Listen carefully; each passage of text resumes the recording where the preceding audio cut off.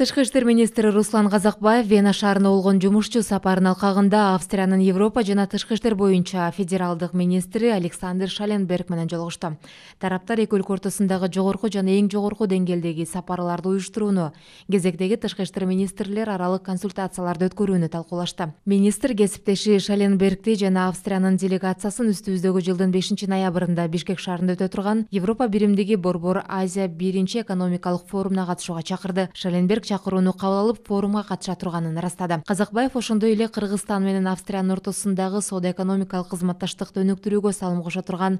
вена бишкек түз аба каттамдарын ачуу мүмкүнчүлүгүн кароону сунуштады александр шеленберг өз кезегинде австрия тарап эки тараптуу кызматташтыкты андан ары кеңейтүүгө жана бекемдөөгө даяр экендигин билдирди